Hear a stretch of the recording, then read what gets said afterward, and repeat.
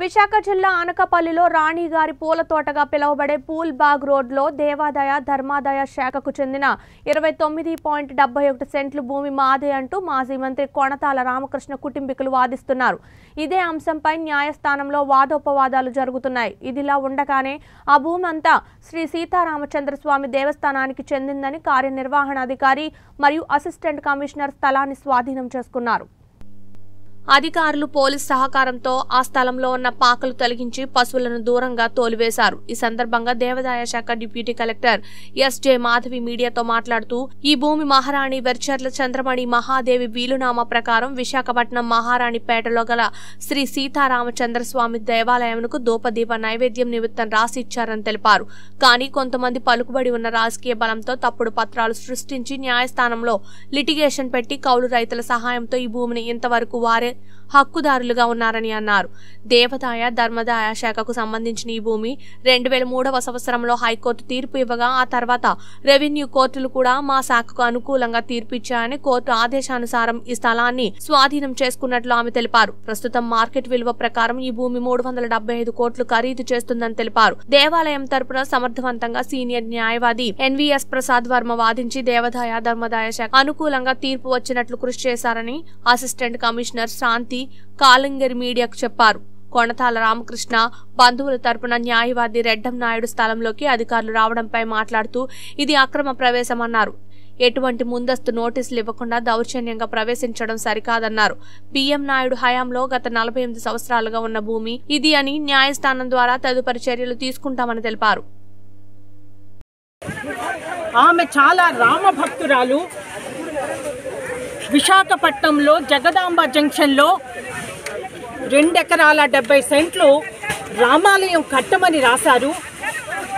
ఆ కట్టిన రామాలయానికి మెయింటెనెన్స్ కోసం అంటే అక్కడ పని చేస్తున్నటువంటి వాళ్ళ జీతభత్యాలు అక్కడ స్వామివారికి మొత్తం పెట్టాల్సినటువంటి పూజా ద్రవ్యాలు ధూపదీప నైవేద్యాలు వీటన్నిటి మెయింటెనెన్స్ కోసం అనకాపల్లిలో ఈ పూల్ బాగ్ దీన్నే వెంకటేశ్వర బాగ్ అని కూడా అంటారు.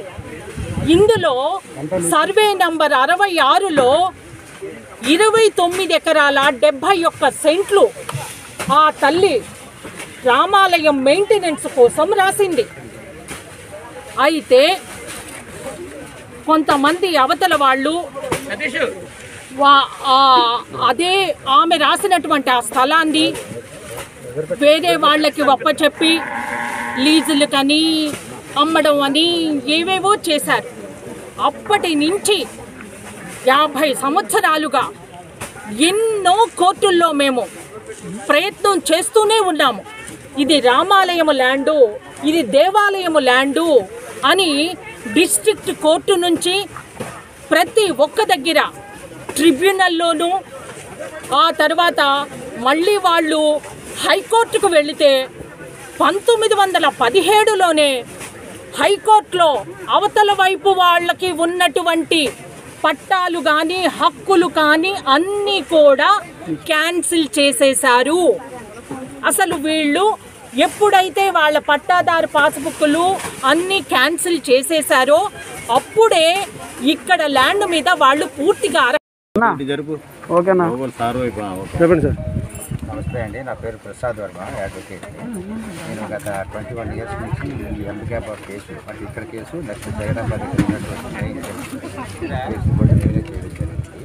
ఆ యాక్చువల్గా ఇదేంటంటే నైన్టీన్ ఫిఫ్టీ ఎయిట్లో చెముడు ఎస్టేట్ మహారాణి గారు పట్ట మహాదేవి గారు ఆ టెంపుల్ ఎస్టాబ్లిష్ చేయమని చెప్పేసి జగదాంబ జంక్షన్లో రెండు ఎకరాల డెబ్బై చెట్లు భూమి కూడా జరిగింది. దాన్ని అంబికా బాగా అంటారు దాని మెయింటెనెన్స్ నిమిత్తం అంటే రామాలయం కట్టిన తర్వాత దానికి దూపదీప నైవేద్యాల గురించి మెయింటెనెన్స్ గురించి ఈ ల్యాండ్ ఈ వెంకటేశ్వర బాగ్ అనే అనకాపల్లిలో ల్యాండ్ ఇరవై తొమ్మిది ఎకరాల డెబ్బై అనేది వీలునామా ద్వారా రాయించింది దాని మీద ఫస్ట్ అక్కడ ఉన్న ట్రస్టీసే ఇది ప్రైవేట్ టెంపుల్ అని చెప్పేసి డిఫరెంట్ డిఫరెంట్ కోర్ట్స్కి వెళ్ళాను అప్పుడు నైన్టీన్ సెవెంటీలోనే డివిజన్ బెంచ్ వారు ఇది ఎండోమెంట్స్ సంబంధించింది దేవస్థానానికి సంబంధించింది.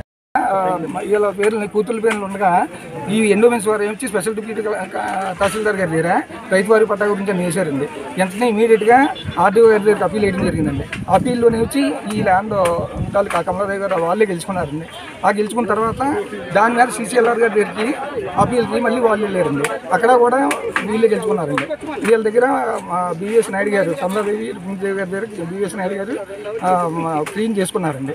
వాళ్ళ అనుభవంలోని ఈ నలభై యాభై సంవత్సరాల నుంచి వాళ్ళ అనుభవంలోనే ఉందండి. ఇలా ఉంటుండగా మళ్ళీ ఈ సీసీఎల్ఆర్ గారి దగ్గర అయిపోయిన తర్వాత హైకోర్టుకి వాళ్ళు వెళ్ళారండి. హైకోర్టుకి వెళ్తే హైకోర్టు నుంచి డైరెక్షన్ వచ్చిందండి తా- డిప్యూటీ తహసీల్దార్ గారు. ఆ తహసీల్దార్ గారి దగ్గర ఆర్డర్ మీద మళ్ళీ మేము అప్పీల్ వచ్చి అప్పీల్ డిస్పోజల్ అయిపోయిన తర్వాత మేము ఫర్దర్ మళ్ళీ హైకోర్టుకి వెళ్ళండి హైకోర్టు డిస్పోజ్ అయ్యి ప్రాపర్ కోర్టులో ఏమంటే సీసీఎల్ఆర్ గారు పే చేసామండి. ఇప్పుడు ఎటువంటి నోటీస్ ఇవ్వకుండా నలభై యాభై సంవత్సరాల నుంచి మా మా వీళ్ళ పొజిషన్లో మామూలుగా